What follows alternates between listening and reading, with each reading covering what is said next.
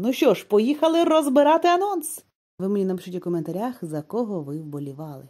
Незмінний ведучий Григорій Решетнік розповів про життя учасників після шоу. Головний джентльмен проекту, Роман Стоматолог, розкрився зовсім в іншій іпостасі. Його представили, ніби в нього любов на трьох, дві дівчини. Що вони там спокійно поговорили, встановили кордони і прекрасно живуть собі втрьох. Але ж як ми знаємо, анонсам СТП довіряти не можна. Довіряти можна моїм розборам. Я думаю, одна із них його дівчина, а інша просто подруга. І вони дійсно встановили кордон. Але придивіться до того, в чому Роман вдягнений. Вам це буде дуже цікаво в кінці цього відео. На ньому біла сорочка, на ньому одному біла сорочка. Я думаю, Романа дівчина це Надін, тому що вона сидить до нього ближче. Поговорили і про пару Елерт і Мішина. Звернувся рішетнік до Елерта чи Ксюша ще Сашина, але він сказав: Я б зробив предложення. Вони не разом. Це вже я знаю не тільки з анонсу, а це всі знають. Це Мішина сама заявила. І головне ж запитання. Чи разом Злата і Задворник? Злата розповідала, що вона найщасливіша в світі була після проекту. Задворний казав, що він біг до Злати в будь-яку хвилинку, але якось все перегоріло. Хоч анонсам СТБ довіряти не можна, але цьому моменту я довіряю. От я не вірю в їхню пару. Дуже вони незрілі. Задворний не був готовий одружуватись. Так, вона йому дуже подобалась, і це було видно, наскільки вона йому подобалась.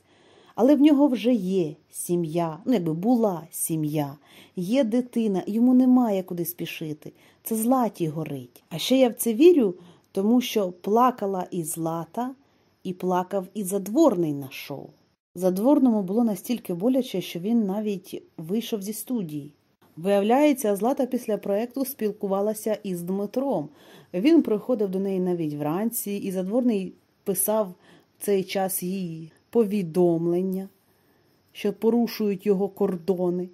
Дмитро був доволі щасливий на постшоу, і Злата непогано себе почувала разом з ним, але головна інтрига постшоу – хто ж таки на постшоу зробить пропозиції? А тепер згадуйте, що я вам казала про одяг Романа. Хтось на проєкті зробить пропозицію. І, звичайно, хотілося, щоб це був Дмитро. І руки схожі на Дмитрові, але ж пропозицію робить чоловік у білій сорочці, а Дмитро у блакитній. Ну, добре, можна підтягнути колір у програмі, але ж гудзики. У Дмитра світлі гудзики, а в цього чоловіка темні. Повертаємось до Романа.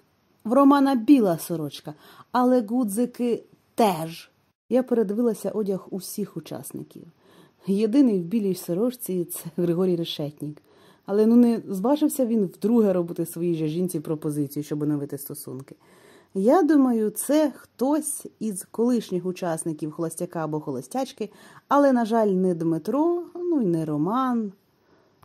У мене з самого початку була теорія, що в холостячці переможе той, за кого не вболіватимуть глядачі. Тому я завжди запитувала, за кого ви вболіваєте. І далі продовжую своє дослідження, за кого ви вболівали. Ну, цей сезон холостячки і зробили цікавенний. Це факт. Спочатку в Тарапату втратили, потім бабах і неочікуванчик.